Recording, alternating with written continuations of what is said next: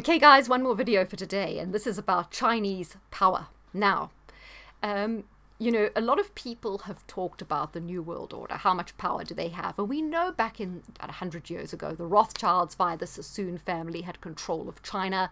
We know the Opium Wars were started in, with, by Britain and, and they had control of China. But is China a free country today, you know, in terms of a free thinking country, in terms of their leadership? You know, do they think for themselves are they controlled still by the the kind of Rothschild uh, America empire, America British Empire kind of thing? Are they under the sway of the New World Order, or are them and Russia forging their own New World Order and looking to crash the disgusting Great Reset of Klaus Schwab and his elites? So there was a very interesting interview by someone called um, I can't remember his first name, Nyquist. He is a uh, analyst, a German sorry, he's obviously Swedish by the name, but he's an American analyst in military affairs. He says there are no lockdowns happening in Shanghai and around China. The lockdowns are a cover for moving uh, military equipment, and they do not want the general public seeing what's happening, so they want them locked in their homes, right? He says military equipment is being moved all around and it's heavy military equipment. But he says it won't be used to invade Taiwan because it's not suitable. Taiwan is mainly a mountainous country with very urban areas and swampy areas, and this particular type of military equipment is far too numerous than it's needed, and it's not suitable for Taiwan. So he wonders what this equipment is being moved, why it's going to be used, blah, blah, blah. He suggested it's for some sort of military operation around the Solomon Islands to take, to block Australia off from America and to some way seize control. I believe China already have a very strong foothold in um, the Australian media, the military, and mining. Uh, it might be very easy for them to cement control. I believe a lot what Australia does is already dictated by China, hence the heavy lockdowns. So it'd be interesting to see what the military stuff, if this guy's right, okay, he might be wrong, he might be a a disinformation agent. But if he's correct, what does that mean going forward for that sort of Solomon Islands area and cutting off Australia from America? He went to say maybe they're thinking of invading America. I don't think so. The Chinese art of war has always been infiltration rather than, you know, going in militarily. And if you think about it, America, Biden, you know, don't interrupt your enemy while they're destroying themselves. So some people are saying, no, no, no, no, it's all an act. The um, elite of the kind of um, Israel stroke British Empire stroke American industrial complex empire aristocracy Illuminati Council of 300 they've got total control of China and they're just using China to roll out their system of control to the rest of the world. So they're really in power right? Um, the Chinese are just going along with it like stooges why would the Chinese be going along with it like stooges? That seems to me like a kind of racist and and almost a derogatory way of looking at the Chinese. They're a strong culture. They're an ancient culture. They are very savvy. They actually, although they're communists, they run business better than a lot of Americas and Britain are running business. I think they're playing along, and when the time comes, they're just going to stab the um, others in the back and say, no, we, we're not actually interested in your reset. Us, Russia, and the rest of the world are having our own reset. We want nothing to do with you, and we'll crush you. And I, I think that's reflected in they can see what's going on in America. They see the degeneracy, the breakdown in family, the breakdown in culture. They see what this this insidious Marxist Bolshevik force has done to decay and destroy American and European society. They don't want that. They don't want all this garbage of of of those ridiculous trans and all this nonsense. And yes, there's an argument for genuine, but we all know that the whole trans agenda has become more nefarious than good. Um, you know, they, they don't they don't want that agenda. So why would they be on board with it? And people say, oh well, you know, they're controlled because of the financial system. Sorry, China aren't controlled because the Rothschilds banking cabal, blah blah blah, have loads of useless fiat currency backed by nothing. They have real assets. They've done their debt trap diplomacy by buying infrastructure around the world through funding it and then letting the country go bankrupt and then taking the infrastructure.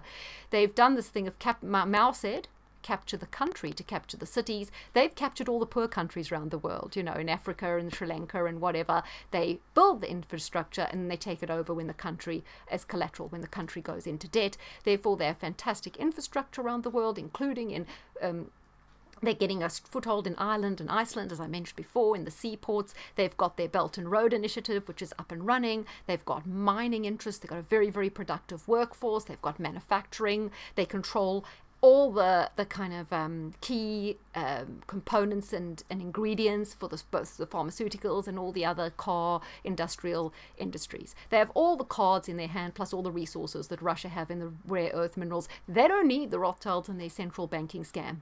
So I think China really do have the power. I do think there's a break. At one time, they might have been working together, but I think there's a separation where Russia and China say, hell, we don't want to know this. Um, you've used us, and now we've gained a lot of power. We don't need you. And they don't. They really don't. So um, I believe there are Russian troops training at the moment in Nicaragua, and the West aren't making a big deal of that at all, which is rather odd. You'd think they'd be having a hoo ha about it. And um, also, you know, a lot of the Mexican cartels are controlled by China. I think China have a big foothold in Mexico and South America, and also maybe in Canada. Remember, during COVID, there were Chinese troops doing exercises in Canada. I think the the Canada, although Justin Trudeau swears his allegiance to the Queen, not to the Canadian people. He swears his allegiance to the Queen and offers to carry out all the instructions of the Privy Council. So Canada was once totally under the sway of the Council of 300, you know, the, the Royal Institute of Economic Affairs, but not so much anymore. I think they're coming, along with Australia, more and more control of uh, China. And I think China are getting more embedded in Mexico.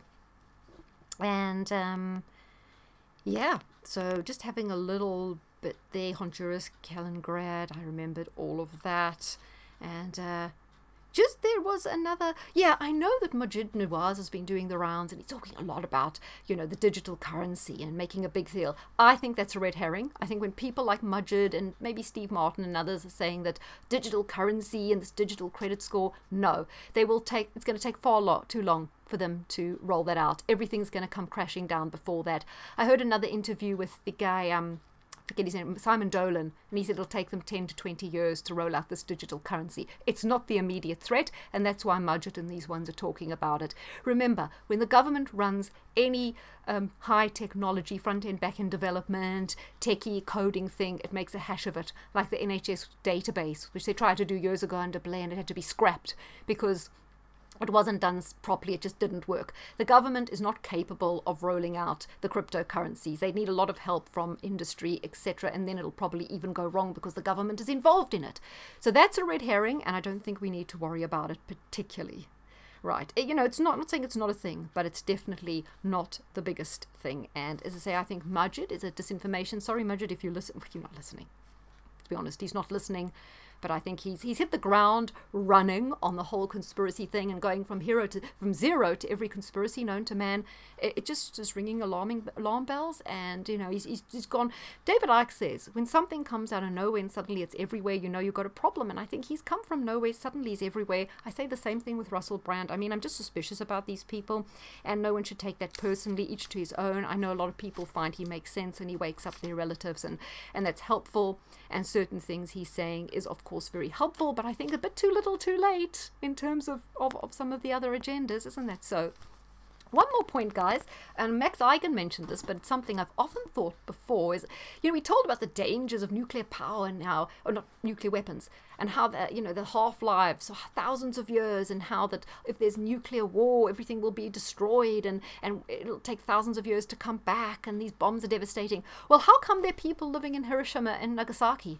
I know one was a plutonium another one was a uranium, but they were both nuclear bombs. And how come these are thriving centers of commerce and, you know, building and there's no problem? Are we being lied to about the threat of nuclear bombs? I'd be interested in um, your thoughts. So maybe they will use nukes simply because they know they destroy, but they can very quickly rebuild like they did in Japan. So they could be very, very useful to the elites tactically for destroying certain cities that they want to decimate and populations they might want to decimate and then they want to rebuild. So yeah, that could be. And uh, look at, uh, I was surprised to see how close Chernobyl is to uh, Kiev, right? And yet we know the nature around there is absolutely flourishing. There's documentaries on it on YouTube.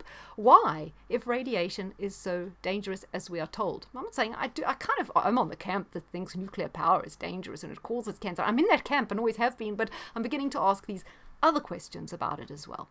So I hope you've enjoyed those. Lots of food for thought, guys.